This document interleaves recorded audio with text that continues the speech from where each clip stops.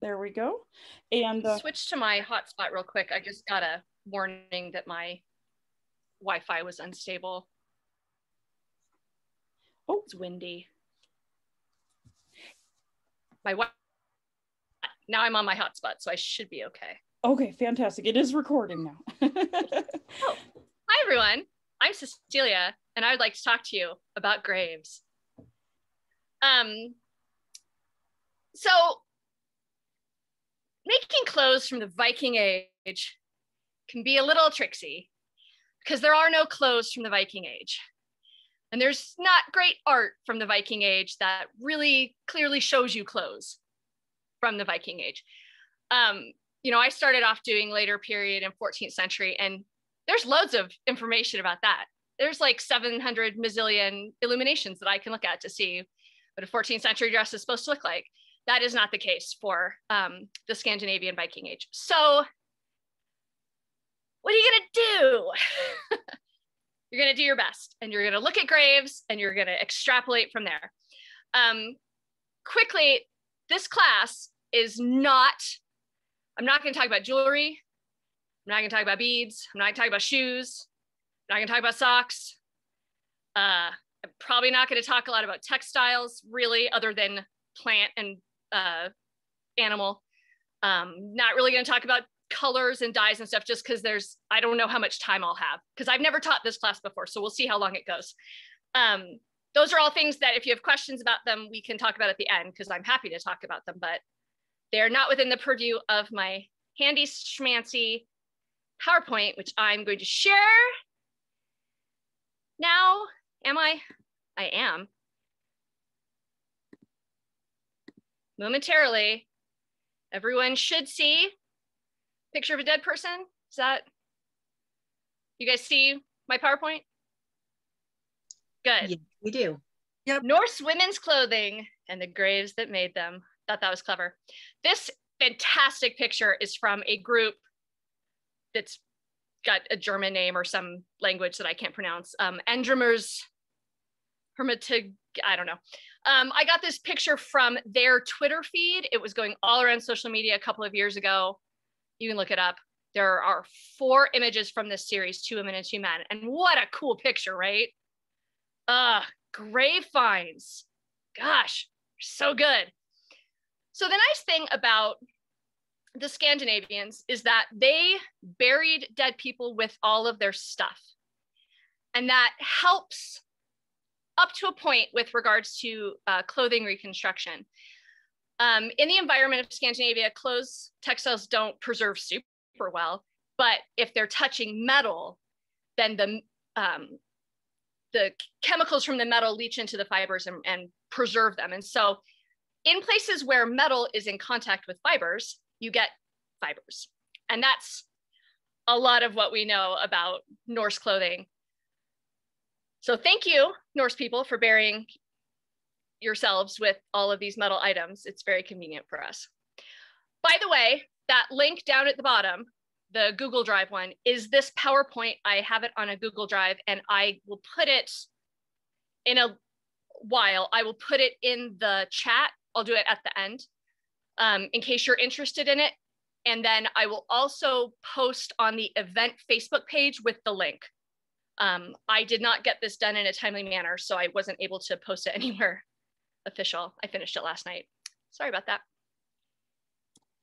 All right, are we gonna move forward? What are we doing? Sorry. Apparently I'm not going to, what is my computer doing? It's not, apologize for my technical difficulties. I don't know why it will either, well, this is embarrassing. Okay, it's not letting me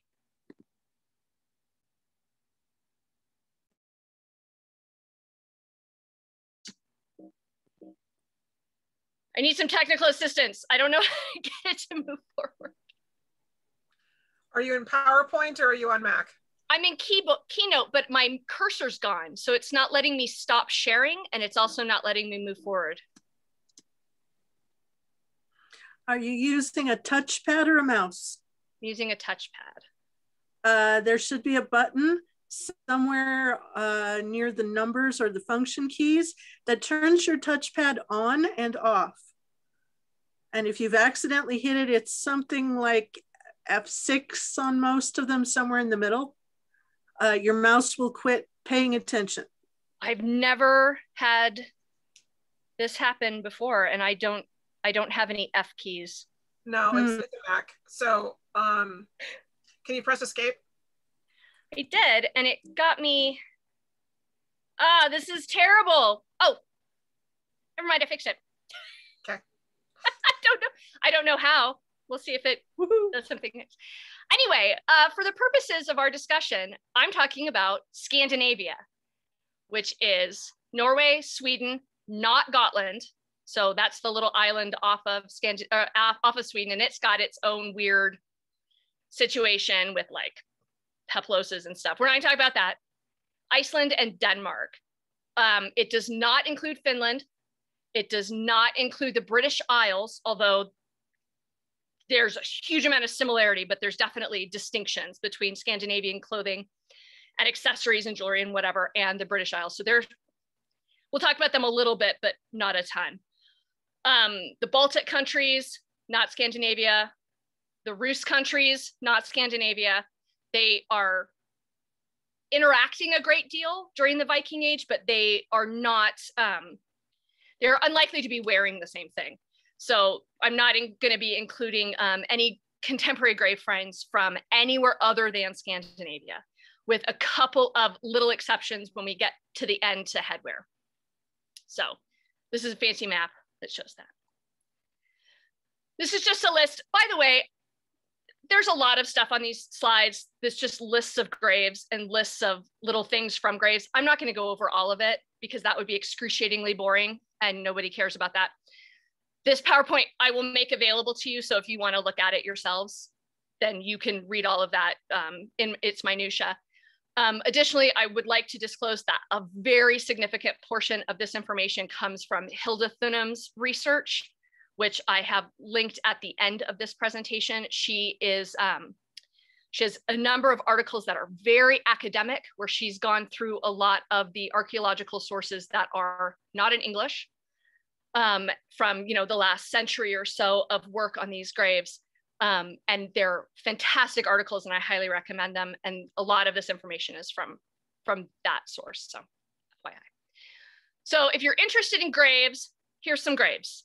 Um, there's a bunch of good ones in Norway. Um, one of which, uh, Skjoldehamn, is right squeaking in the end of the Viking Age if you kind of squint at it. And there's some problems, I think, with Skjoldehamn as well, but um, it does have some pretty significant garments, um, much more entire and intact than other graves. So people really like to use it, particularly for hoods. Um, we can talk about that later.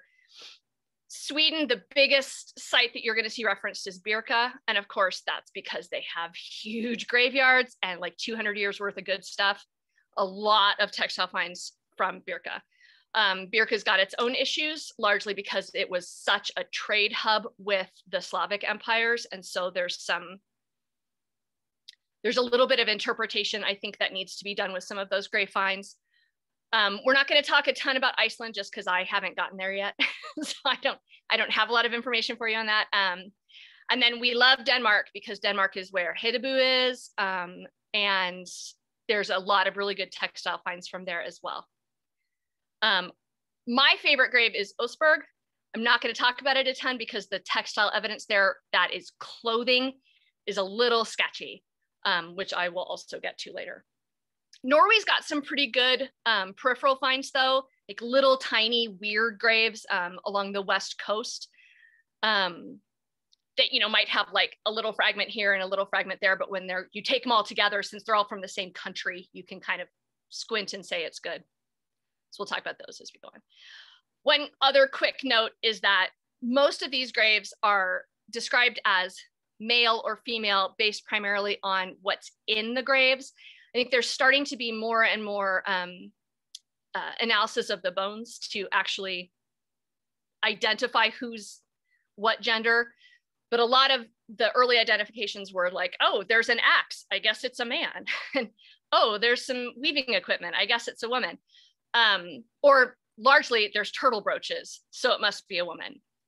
Um, but just do be aware that the sort of um, gender assignments of these graves is, is largely based on accessories and not on like DNA evidence. There's some that are DNA, but they're getting closer to that. All right, so to start the meat of, of this class, when you want to reconstruct Viking age clothing, you've got to, I think, be a little honest with yourself about what is actually available to base your reconstruction on. I think for a lot of people in the SCA, this doesn't really matter that much. Like you make a pretty apron dress that looks like what somebody else wore that you thought was really pretty and it's good. And that's fine. Like if that's what you want to do, feel free. I copy other reenactors all the time. It's it's fine. Um, if your goal is to move towards a more historical silhouette, well, then you've got to start to ask yourself some harder questions, not what colors do I like or what, um, you know, do I want to make my Viking dress heraldic, which sure, if you really want to do that, that's fine. Um, but you got to think a little bit more about the context of these garments and what we actually know and what's sort of become anthropological folklore, certainly what's become SCA folklore. Um, there are a lot of things that are common practice in SCA Viking age clothing that I've never seen referenced in a grave. Um, but we do it because we've seen it all the time. I mean, it's like when I started in the SCA 25 years ago, I was told that pink wasn't period we all know better than that. That's foolishness. Um, so there are a lot of things that are sort of common practice in the SCA that are not particularly based on archaeology. So when you're doing your reconstruction, when you're planning it, I think you you have to sort of decide what your goals are. And if your goal is to make a pretty dress, then make a pretty dress. You don't need to be constrained by what you can find in a grave and what you can't. Just be honest about it. Like make a pretty dress. No one's gonna yell at you or shake a finger in your general direction. Um, unless you say to someone, look at this beautiful heraldic Viking apron with a giant applique, I don't know, sunflower on it or something. It's probably not historical. Um, so just, you know, if that's not your goal, then don't worry about it. But if your goal is to be historical, then you've got to go a little bit further. So because there's not a ton of evidence, certainly not whole garments for this era, you've got to sort of decide how slavish you want to be to what is available. So if you want to just base your reconstruction on graves, that's going to be tough because there's no actual dresses for you to base it off of. Um, there's little pieces of dresses, like little pieces of dresses. Um, so you've got to then fill in those blanks with some inferences and you can use um, other contemporary cultures, I mean, people people reference the Rus all the time. Um, people reference Gotland. People reference the the Finns. Um, those are probably not the best ones to use if you really want to use other referential cultures. I would suggest the Anglo Saxons, the Franks, um, the Carolingians. They're at least kind of in the European zone, um, and it's there's less, I think, cultural division in those cultures than there would be necessarily between the Scandinavians and the Slavs. And that's per personal opinion. I'm sure you can make an argument either direction.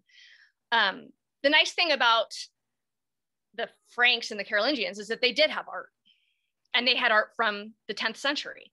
So you can look at a painting in a book, you know, that depicts someone's neckline or the length of their tunic or something. And you say, all right, well, sure i can sort of assume that you know if these two countries are connected you know germany's connected to denmark maybe that's um, something that you can use to fill in information um, you can use references that people writing about viking age scandinavians are saying about their accessories their color palette stuff like that um, and you can also use later um, garments because there are later there are full garments from slightly after and slightly before the Viking age. So you can sort of use those as bookends and say, well, if it, the tunic looks like this in the Anglo-Saxons and the tunic looks like this in Skjoldehamn or Moselund or whatever bog you're looking at, there's a really good chance that it looked the same in that intervening period. So you just want to be kind of aware of what assumptions you're making and why you're making those assumptions. So any questions about that? It's sort of an awkward topic, right? Because you can't just say, I'm going to make that dress from that Viking person, because there isn't a Viking person that has a dress that I can use. Like, here's this tiny little figurine that's this tall, and I'm going to make a dress based on that. Okay, so the elements that we're going to mainly talk today are tunics, whether that's an under tunic or layer tunics or whatever. We're going to talk about the apron dress, which is in quotation marks because that's an awkward term. We're going to talk about warm layers, shawls, caftans, whatever. Um, we're going to talk a tiny bit about headwear. I don't know who this woman is in this picture, but I liked this outfit and I wanted to use it. I love the colors, right? That blue super um, ubiquitous dye imported probably from um, the continent, either woad or indigo, gives you a beautiful blue on wool and linen. And so there's evidence of blue dyed linen underdresses, which is a kind of a big deal.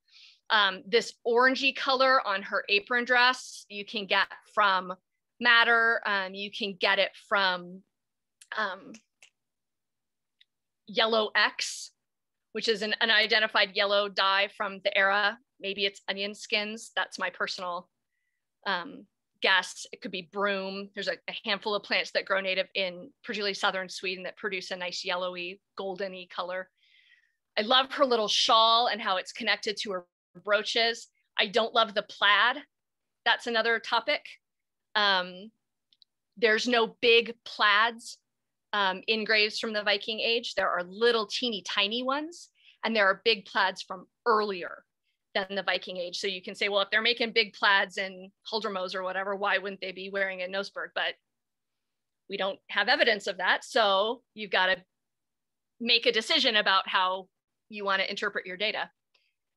Um, I also really like that she's only got the one strand of beads plus the necklace. Um, we in the SCA love our giant festoons, and those aren't really defensible from graves. The number of beads are a little bit excessive. I think the average number of beads in a Viking age grave is the big ones, at least, are like 10 to 12. And that's in rich people's graves. There's a couple of exceptions to that. There's a grave in Birka that's got 100 plus big beads. Apparently, there's seed beads galore that were never conserved because no one cared about them. Um, I also love her little hat. That's a little Dublin cap, super cute. She's got a little bit of a posament here on the top. She's got a blue um, silk band at the top of her apron dress that I really like. It's really simple. There's direct evidence for that. It's kind of nice. Okay, we good? Move on. Serks. All right, I'm gonna use the term serk for the underdress honestly, I think that's Norwegian for underdress. I, I, mean, a lot of these terms that we think of as being like the name for things, it's just the Norwegian word for, or the Swedish word for underdress or whatever. Um, please don't get hung up on vocabulary for this era. There's not written evidence. I mean, we don't have some yeoman from ninth century uh, Norwegian or Norway talking about the garment that his wife was wearing. Like we don't we don't know what these things were called. Um, so use a word that other people understand and it's fine. Don't, don't get hung on that, up on that too much. Probably underdresses or linen. There's some evidence of wool tunics as well, so they may have been layered. Um, that evidence is particularly from Hedeby. Um, but most of the things that are under the apron or the um, the brooches it, are linen. And the evidence, as you can see from this picture, that's a little scrap of fabric that was preserved by the apron brooch. Um, this picture happens to be pleated linen, which we'll talk about in a little bit, but this is, this is the textile evidence we have of dresses. It's that tiny scrap of fabric.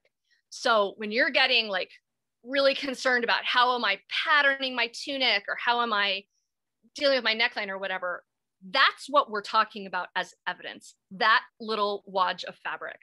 So relax a little, it's gonna be fine. um, we also sometimes get evidence, primarily it's from, from these brooches because they're, they're big, you know, and they're concave, there's room for stuff to be wedged under there. But we also sometimes get evidence from um, wrist areas, from hip areas in particular, and those are from things like knives that are hanging down, scissors that are hanging down.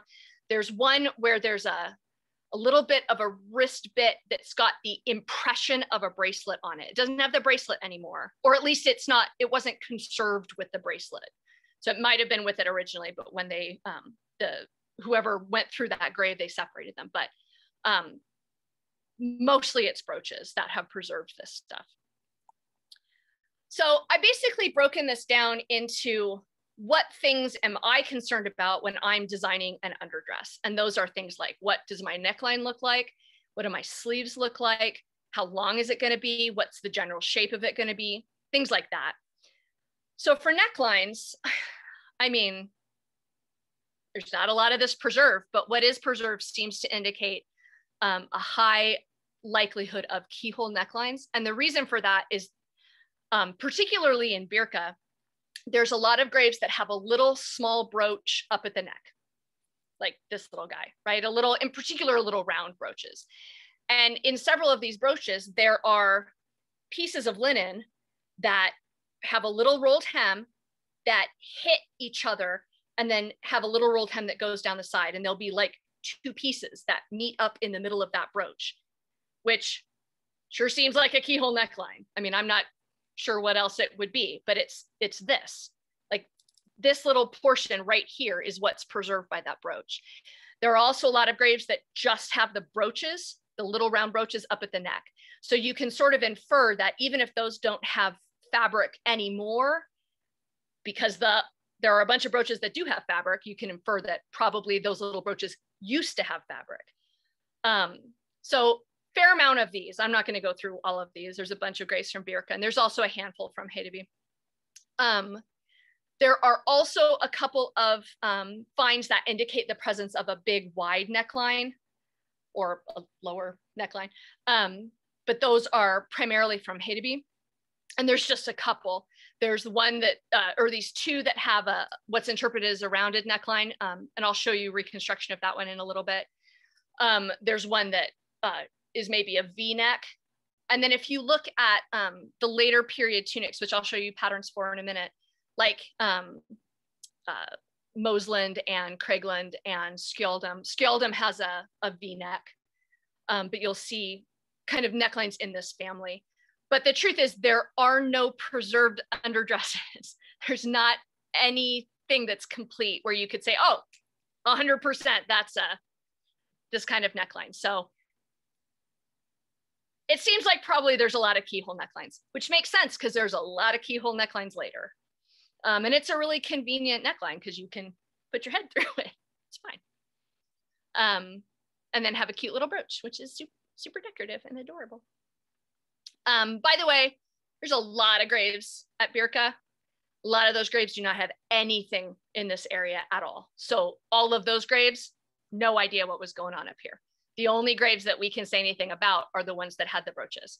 So if you don't have a brooch, who knows? Make it what you want. It's fine. Sleeves, who the heck knows? There's a little bit of stuff here and there. Yeah, I've referenced a grave called Pskov here, which I did not include in our bibliography. That is not Scandinavia. You see Pskov referenced a fair amount. It's in modern day um, Latvia, I believe. And it's a weird little town. Um, it's not on any huge trade routes or anything. Like you kind of have to make an effort in the Viking Age to go to Pskov. It's, it's not on its way. It's not really on your way to anywhere. But it's unique in that it is the only Viking Age grave site that contains both turtle brooches and temple rings. Otherwise, the, those two are not, they're, they're culturally exclusive uh, based on graves, right? Either you've got turtle brooches and you're Scandinavia, or you've got temple rings and you're Slavic. Um, they're really not the same. Um, unless you want to recreate Pskov, in which case feel free because there is a whole bunch of textile evidence at Pskov that's really interesting. but it's not really Scandinavia, so we're not really going to talk about it. Um, but it does have the bottom of a sleeve and it's got a silk cuff, which is very interesting. It's a pleated dress as well. It's kind of, there's some weird stuff about that find, but um, Birka has several where there was a knife or a uh, scissors or something at the waist that preserved a little bit of sleeve. Um, there's some evidence there for pleated sleeves, which we'll get to pleats in a second. Um, but again, that's indicating that your sleeves were longer because your arm is resting at your hip. You can't see my arm, but it's resting at my hip. And, uh, you know, that's where your wrist is. And so if there's linen at your hip over the wool of your apron dress, then it would be a sleeve. Um, Kaupang's got a little bit. Um, Hedeby has an actual sleeve that's largely preserved. It's wool, so it's probably not an underdress. It's probably an, an overlayer that is not an apron dress. So this is the recon this picture is the reconstruction of that sleeve from Hedeby. So it's a little weird looking. It's not your straight rectangular construction like we think for uh, Viking age patterning. That garment is got a fitted arm side. I'll show you a picture of that in a minute, but sleeves are a little, they're a little harder to figure out. Um, so then you have to say, all right, well, I need to wear it. So what are the usability needs that I have for a sleeve? Um, I don't want to get sunburned, so I want it to be long. I get sunburned really easily, so I want my sleeves to be long. I want them to be lightweight for myself because it's hot. Um, but uh, I'll stay much cooler in a lightweight, long sleeved dress than I will in a short sleeve dress because I'm not going to get the sun reaction. Um, I want to be able to wash dishes. I can't do that easily in these sleeves; they're too snug or I want to, you know, wash my hands. So maybe that's an argument for having a slightly wider sleeve. I don't know. You got to, you have to sort of make your own argument for that because there's not a ton of evidence for sleeves. There's these few little things, but color. Most of these linen fragments are undyed, which makes sense. Linen doesn't take uh, natural dyes very well. Um, you can dye it with synthetic dyes nowadays, but natural dyes, it doesn't it doesn't um, absorb the color very well, even if you mordant it. And so, you know, you're going to dye it, it's going to be fine. It's not going to be great, you know, like a wool would take dye, but it's going to be fine. And then you're going to sweat on it, or you're going to wear it in the sun, or you're going to wash it, and all of that dye is going to come out. And so, what's the point? Like, it's just a waste of it's a waste of uh, of materials. So that is supported by the fact that most of these scraps are white. There are a few exceptions to that, which are very interesting. I don't have there's an Icelandic grave that has a blue linen underdress that I don't have referenced. And I'm sorry about that. I couldn't find it last night. um, but there is some evidence for blue. The indigotin, which is the um, primary chemical in woad and indigo dyes, it actually will absorb fairly well into linen um, and will stick around longer than other kinds of dyes will. So you definitely potentially could have a blue linen underdress. Um, and there are a few um, fragments that, that back that up. Um, there's a red one in Birka. There's a lot of debate as to whether it was dyed red or if it was turned red as the iron in the turtle brooch leached out. I, I saw very convincing arguments in both directions. So that one you just sort of have to, like if you want a red dress, you can use that as evidence. And if you don't care, then don't. Um, Hedeby is very interesting in that there are a couple of linen fragments that are cross, they're woven with different colors and it's blue and white in one case and blue and red in another. Um, they're very small little checks. And so it's like, I can't remember, it's like 10, 10 warps of blue and then one of white or something like that. I mean, it's really small, the scale of it. So if you've got like a big window pane plaid or something that like I have a dress that's like that. And I was so excited to find that fabric. So I was like, oh, it's checkers, just like it Hedeby. Mm, no, the scale of it is way off. Um, so they're really small little little checkers, but that's super interesting, right? Because they dyed that fabric blue, that yarn before they wove it, and they didn't dye the fabric, they dyed the yarn. So that's a very interesting find. Um, and then of course, red and blue, that's adorable. So that'd be super cute.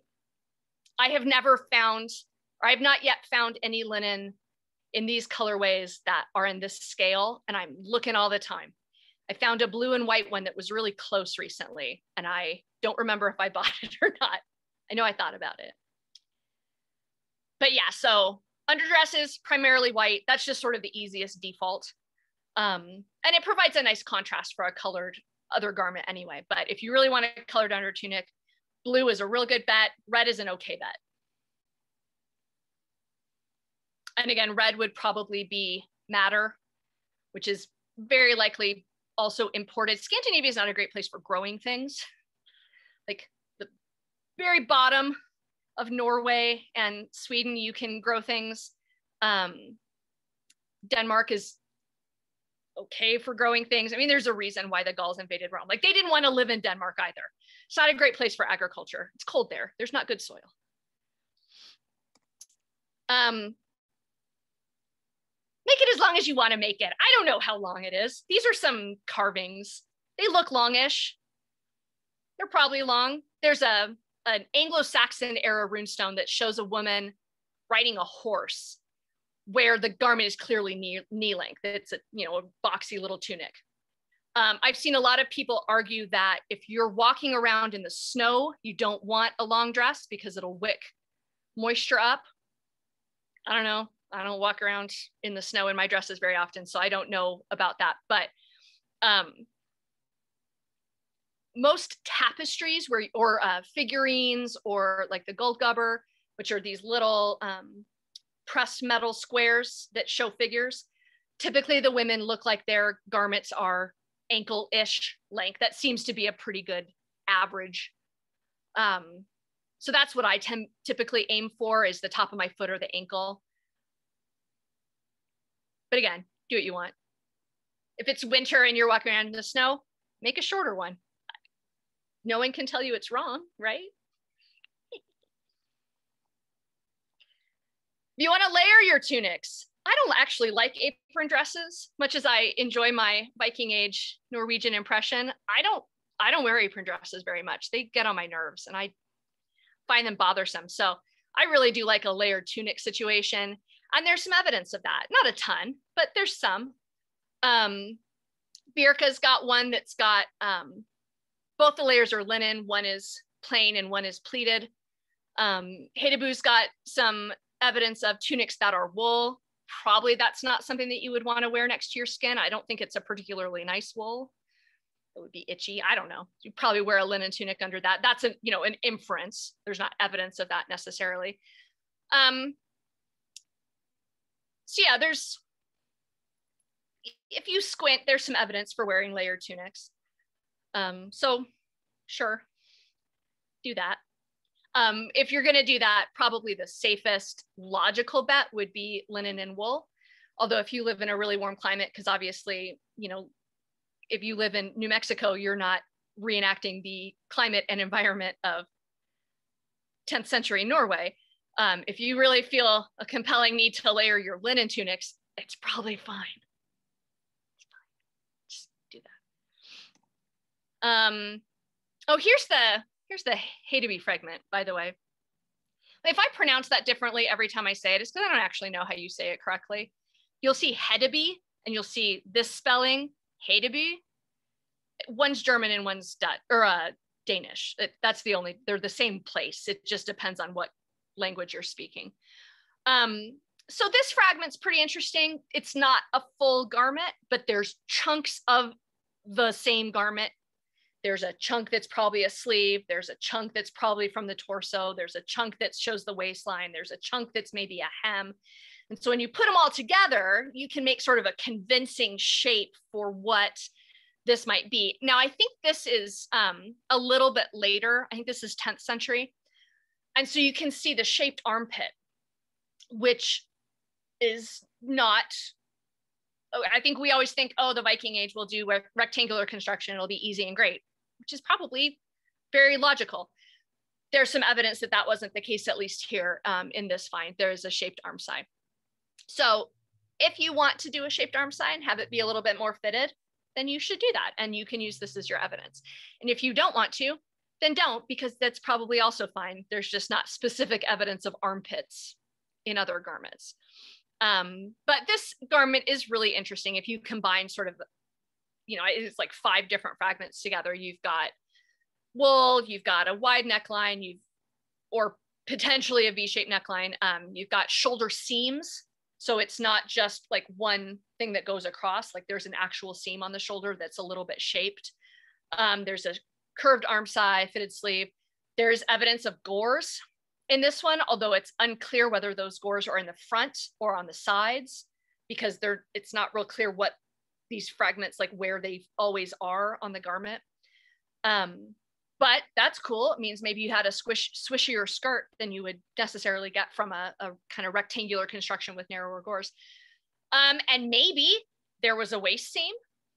I don't know. Maybe there was a seam going down the front. Also, no idea. But isn't that interesting? Because of course, if there is a waist seam or a seam going down the front, that indicates that maybe this was a little bit more tailored um, than just a box. So those are all facts that you could then make a story to go with how you felt like kind of putting this garment together. And it would be a perfectly fine story, even compared to someone else who had a different story based on the same evidence. Oh, the Viking Age. Uh, one note on pleated serks. So these are fun. Um, and what I mean by pleated is that the the bit that's in the brooch isn't just a flat piece of linen, like it's in regular little pleats and they're tiny pleats, you guys. These are not like giant inch wide pleats. These are like two centimeters, four centimeters, like they're little tiny pleats. Um, and I've seen a bunch of different reconstructions of these where people are basically, you know, how you would do like a smocked um, apron, like for the 14th century or the 15th century. Um, or a, you know, like cartridge. I mean, it's basically cartridge pleating, right? Where you would take a um, a thread and kind of go in and out and then pull it all together. And there's some evidence of this when we get to apron dresses as well. It's a, I mean, it's a little weird. I don't know why you would do it. Um, and I've seen a lot of reconstructions where the maintenance of a pleated serk, the way that it's being done by modern reenactors, would just be miserable because you'd have to like replete it every time and then you'd wash it and it would all fall out. And why would you want something that's that hard to maintain on an underdress that you're going to wash? I, I don't know. I'm not a big fan of these, um, but they're certainly very interesting. Birka, several piece, several graves that have evidence of this. Um, has some, but it's only probably a serk. It's a little unclear. Um, what's interesting is that in all of the graves in all of Scandinavia, really it's only Birka with this one exception from Hedeby. But really, it's only Birka that's got evidence of pleated linen, and it's got a lot of evidence of it. Um, and one sort of interpretation of that is because Birka was a trade hub, that maybe these were being imported from Kiev, because they imported a lot of stuff from Kiev. And you don't see those pleated serks anywhere else. So there's none in Norway, there's none in Iceland.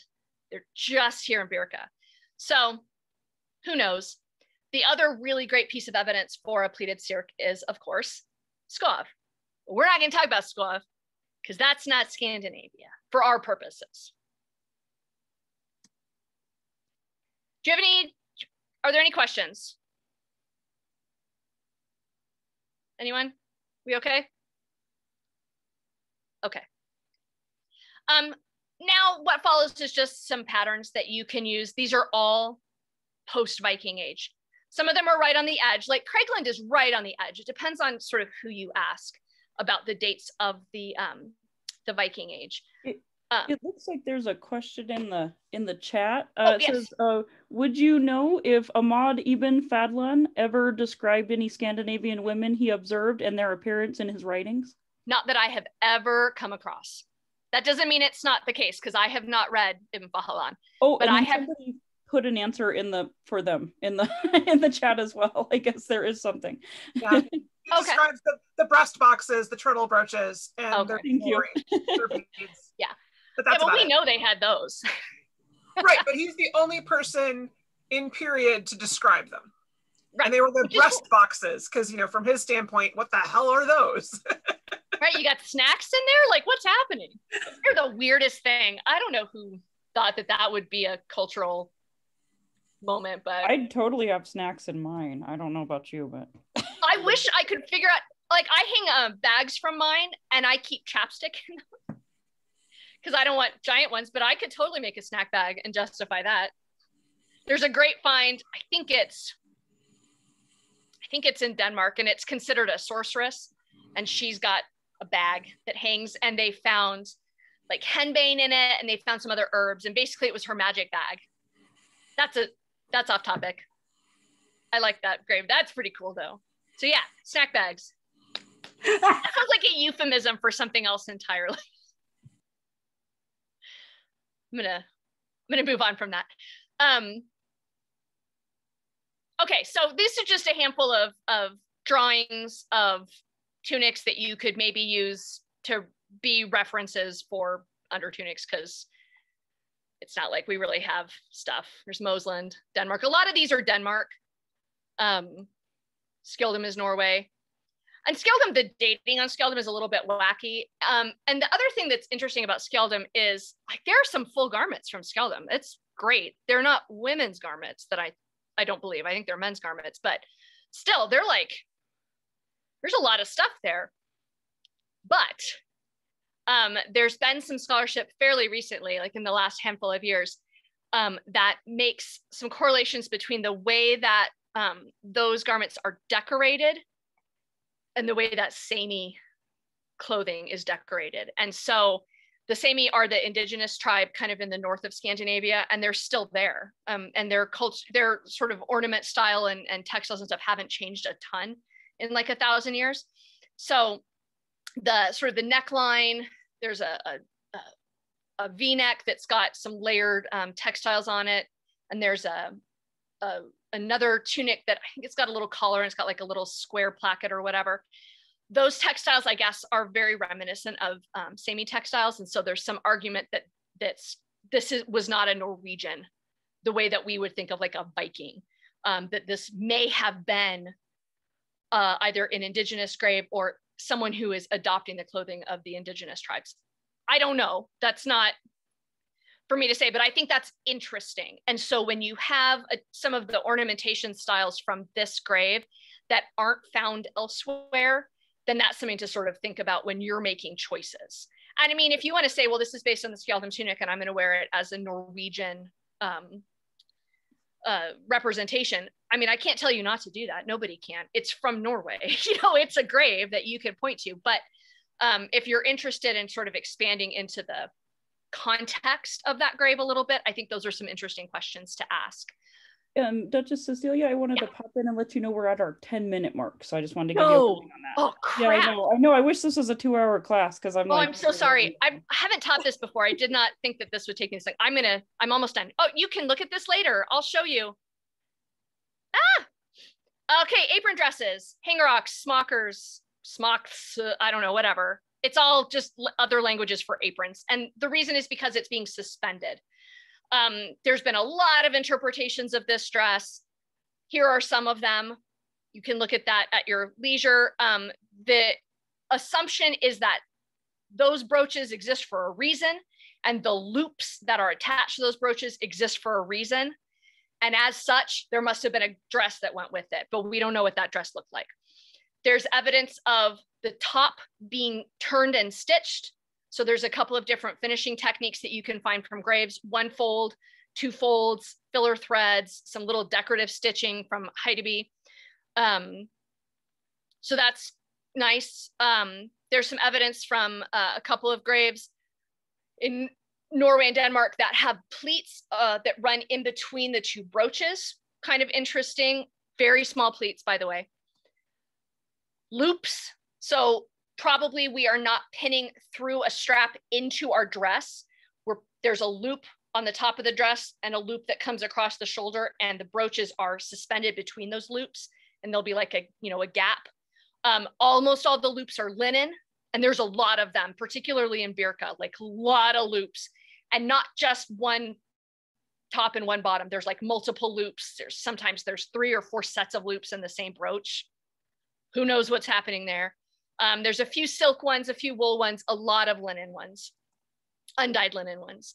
Um, I'll post this for you so you can look at all of this detail. Basically, this is talking about how there's multiple loops. The interpretation for that is, I don't know, are we wearing more than one apron dress because it's cold or something? I don't know. Um, or do we have a hanging apron? That's become a real popular style in the SCA in the last uh, five years or so, I think. Um, I've seen people interpret it as a cape. Sure. Um, my favorite is that you're hanging tools from your brooch on loops. And I have several like that where I have a, a fabric loop that hangs my, my scissors or my ear spoon or whatever. And I love how it looks and it functions really well. So that might be the deal with loops. Shape, my God, you guys, there's just not anything except this piece from Hedeby. like it's it's literally just this weird shape. It probably comes from here to about the waist. There's some evidence of felting on the waist and there's a dart for shaping. It's a super tiny dart. Like I use a big, biggish dart. Like I think I use um, like a half inch dart at its deepest. It's super too big. Like this dart is tiny. Um, and it's got a braid that goes from the, the uh, assumed top all the way down uh, the top of that dart. Is it for decoration? Is it for wear? Who knows these things, but it's super cute. And it seems like that dart goes to the outside of the garment, which is very interesting. So is it a decorative element? It's so small. Is it even for fitting? I don't know, but the serk or the this fragment, one side is straight and one side flares out. So that would also provide a little bit of shaping. It's got a finished top. It's fascinating. What fabric was that, that fragment? What? What fabric was that? Wool. Okay. It's wool, and it's from the harbor. It's not from the graveyards in Haiti. It's the it's from the harbor, and it was basically like someone's thrown away garbage thing, and they used it um, to caulk a ship, and so it's covered in tar and stuff, and that's what preserved it. But it's not in situ, so it's not on a body. So you have to sort of figure out like where on the body would that fit, and there's a finished top. So we know that it was at the top and the implication is you know that it would have had brooches. We don't know if that fragment is from the front or the back. So it might have had two darts on the back. It might have had a dart darts in the front. Who knows? I oh, put mine in the back because that's where i need fitting for my body shape I just want to let you know it's we've got a our, uh, we're at our five minute mark now. So oh my I, gosh, you guys, I'm so sorry. I know. I think we should like schedule another class like this next week or something so we can. Well, now I know better. I should not try to fit all this in an hour. I apologize, you guys. I it's thought I would be able really to get through this though. faster. Um, let me see. One last thing: decoration. There is not a lot of evidence for this, you guys. Little silk band at the top, maybe, maybe a little braid, maybe a, like a couple of strings um, not not evidence for giant panels, like little little strips, little strips. There's one that's got tablet weaving, maybe two, I can't remember. I think it's cost Kostrup that has tablet weaving. Little, little, little ornamentation or lots of no ornamentation. So just make a tube out of wool, put some brooches on it. You don't need to make it fancier than that. Have some cool fabric, diamond twill, broken twill, do something cool, but you don't have to slap trim on on everything. I know you want to. I also want to. but but maybe don't do it every time. Little bit of braid. Um for example, you can see this is just a little bit of braid that I stitched to the top. Simple, simple, simple. And then wear some jewelry and it's fine. Um, I don't know, you can look at this later. That's from Oseberg. It's very pretty applied silk. Um, I didn't mention Oseberg because there's almost no textiles from the body. There's loads of textiles, but they're like tapestries and pillows, and there's like 50 different tablet weaving designs from Oseberg, but they're not on the body, just super aggravating. And there's no turtle brooches in that grave either. So she may not have even been wearing an apron dress, even though that's a ubiquitous garment in the ninth century. I don't know. Wear shawl. Shawls look cool. I'm sorry, you guys. Or something on your head. It's fun. It's a little Dublin cap. There's some, oh, can I just point out this Jen color in the corner here with this little, this cute little headscarf, which is my favorite right now. Mine's too long. How adorable is that? That's from Dublin, just so you know. All right, I guess we're out of time. I'm sorry. Hopefully you now know a lot about serks. That was terrible time management on my part. Here's some reconstructions from Hedeby. There's Kostrup. There's Magnus. That's from Norway. Here's a reconstruction of um, Oseberg by a woman named Astrid Breed, who's a, a living history experimental archaeologist, hobbyist kind of person in Europe somewhere. I love this dress. It's so pretty. Look, narrow little bands, right? Though narrow bands. It's adorable. Here's some more of her stuff. Simple, good natural dye colors. You see this one in the middle, the yellow one, it's just got a little bit of yarn along the bottom. It's nothing fancy at all, but it's really striking and pretty. It's a beautiful yellow. I love that color. I put this one on. Look at this hat that she's wearing. It is the cutest hat on earth. It is not Scandinavian, it is Frisian. But there's a whole bunch of graves that have these little hats. Look at this, how adorable. Right? Intact hats, they've got embroidery on them. They're so cute. You want to look up Aalsum, A A L S U M, near the town of Groningen. There's like six graves that have different hats, little pillbox hats. There's a pillbox hat that's got like a little brim on it that's super sweet. I haven't made one of those yet. Anyway, thank you for coming to my class where you learned about serks and nothing else. Sorry, there's some, there's some further reading. Oh, I'm gonna put I'm gonna put this link in the chat, aren't I? I'm gonna put this link in the chat. Yes. Unfortunately, the chat's going to be going away here in a minute. so I'm so right. sorry. Go to that link real quick and then you can look at grapes. you, you could put the link on the on the group on the Facebook group. I am going to do right. that. I will do that here in a minute before I forget. I'll go do it right now. Hopefully it'll Great. work. I think I've set the permissions correctly. Yeah, it did. I got it up. Oh, brilliant. Brilliant. I got my uh, tools. Yes. I do love a tool. I'm still waiting for my little knife. I did a trade for it and he's being oh, a slowpoke. That's going to be fantastic. Knives are good. All right. Well, Not like I need it right now. Thank you so much, Duchess Cecilia. That was amazing. I seriously, I want to do like another class that's like just on this for like two well, hours or something. Maybe we could just do a Facebook or um, a Zoom meeting or something just for this Maybe. for a couple hours. So no, you're well, thank you all for being my guinea pigs, and now I know now I know better than to try to do this in an hour. You're good. I'm going to stop the recording now, and thank you everybody.